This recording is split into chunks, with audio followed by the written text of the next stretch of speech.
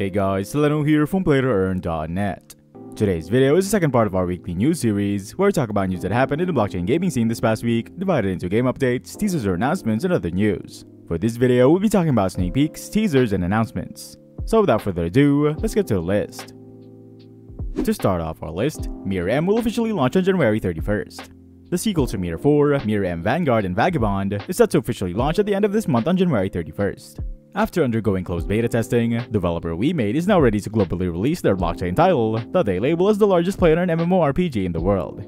The game will be available on PC, Android, and iOS devices, and anyone who's interested in playing can pre-register ahead of their launch, in order to receive various pre-registration rewards.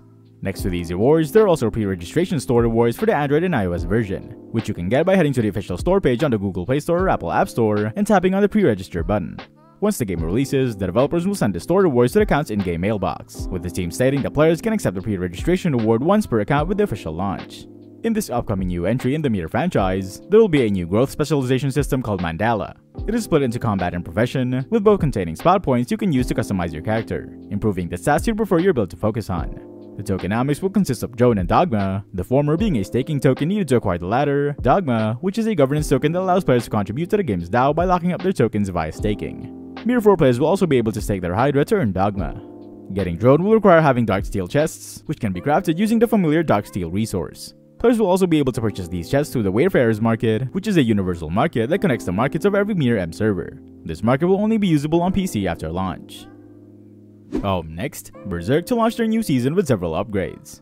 Berserk's development team evaluated the card game after Season 2's popularity to determine which areas required upgrades. The team has prioritized server upgrades for enhanced stability, lower latency, and quicker or more responsive gameplay. Berserk has identified in-game systems and elements that will be tweaked and redesigned in Berserk Season 3, in addition to technological enhancements. Berserk Season 3 will introduce a new beginning set. This set contains 24 new cards that provide a variety of brand new effective deck building strategies. The new beginning set will be available to everybody for free for the entire season. Furthermore, Berserk Season 3 will make all existing Vulcanites playable heroes. With accessibility to hero abilities, the game anticipates a large rise in player numbers, which will improve match balance. Also, Berserk will change the card draw rate to promote alternate deck building metas. Further in the coming season, the team plans to reduce the card draw to one card every turn, increasing to two from turn 7 onwards. Slower tactics will become more feasible as the card draw rate increases, emphasizing the necessity of deck construction. Moreover, Berserk is introducing matchmaking rating modifications to accommodate high-ranked players who were prohibited from playing after they reach a certain level. Berserk Season 3 will have a daily MMR decay to discourage players from squatting on ranks and skipping matches, resulting in a far more fair ranking ladder. A subscription pass will also be available in Season 3, as well as an updated prize structure. If you're liking this news list so far, remember to check out our website and news section to be updated on everything about blockchain gaming. You can also subscribe to our channel to make sure you stay updated on all our videos. Now let's get back to the list.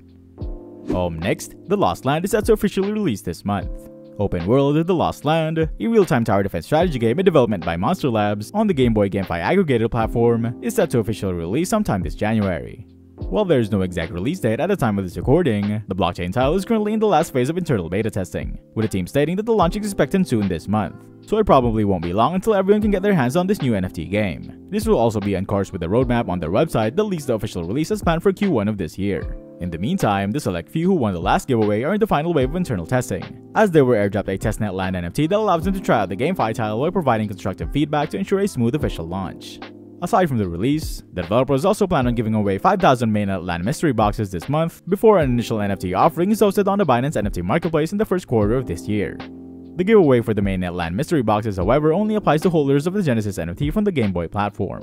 The upcoming game is similar to Clash of Clans and Lords Mobile gameplay-wise. It will be available on PC as well as on Android and iOS devices, and require ownership of a LAN NFT in order to play, earning resources such as gold, food, and stone that will be exchangeable with Game Boy, a governance token that is planned to launch this year. Um, next, Sins of Shadows beta leaks reveals Team Deathmatch mode and new UI. Award-winning creative studio Sombra Network has dropped exclusive leak footage of the beta testing for the Team Deathmatch mode in its upcoming play-to-earn game Sins of Shadows. The footage showcases a lobby menu with three maps available in the game, Factory, Space, and Desert, as well as a first glimpse of these immersive locations hosted on new Epic Game servers with real-time client hosting. Sombra Network is an award-winning VFX and media studio behind an NFT multiverse known as Sins. It is essentially a play-to-earn cinematic universe, where players own the characters and have full control over the storyline as it develops. Sombra will develop the Sins storyline and related TV shows every month, along with the player-earned game missions and multiplayer experiences. Those who interact with the ecosystem will receive rewards in the form of SMBR tokens, a utility token for the Sin's ecosystem. There are four phases to this ambitious project, which began with the Genesis NFT mint on May 4, 2022. The second phase saw all Genesis NFTs upgraded to 3D playable avatars, which will later appear in Sins of Shadow and Sombra's TV shows. Set in a world of cyberpunk, Sins of Shadows arrives in the third phase and is described as a GTA Counter-Strike mashup where players can roam around or compete for winner-take-all prizes. At launch, the AAA shooter will offer multiple game modes for players to engage in, which include an open-world multiplayer row mode, a team deathmatch mode, a battle royale game, and a PvE mode tied to its TV series. The project's final phase will see Sins producing a monthly TV show featuring players' NFT avatars using Unreal Engine 5's motion capture technology. According to Sombra, each plot will be fully driven by the community, and NFT holders will be rewarded for taking part in the production. And lastly, Cosmic Champs releases Season 2 of gameplayable NFTs. On January 19th, Cosmic Champs will release the Season 2 of their highly successful GameFi NFTs on Algorand.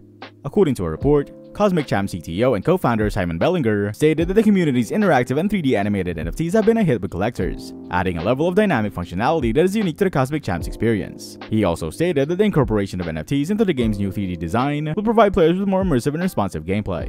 The sale of its Season 2 NFTs will take place in two rounds, a private shuffle and a public shuffle.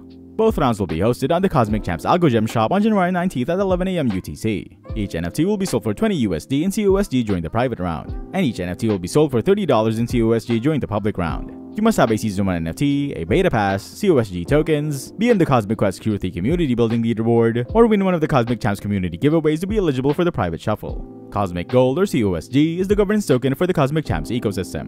COSG supports a portfolio of games in development, a creator economy, NFT sales, and a future marketplace. COSG allows holders to participate in staking pools on Cometa, Algorand's premier decentralized finance staking solution, and also participate in Algorand Foundation's governance rewards programs. Despite the market downturn, COSG remains in the top 3 projects on Algorand by total value locked in liquidity. And that's a wrap for today's news video. I'll be back tomorrow to talk about our last news segment, news that don't fall in the first two categories. And for more info on everything about blockchain games, check out our website at playtoearn.net, where you have the largest database of games that have all the info you need. That's it for today, see you next video.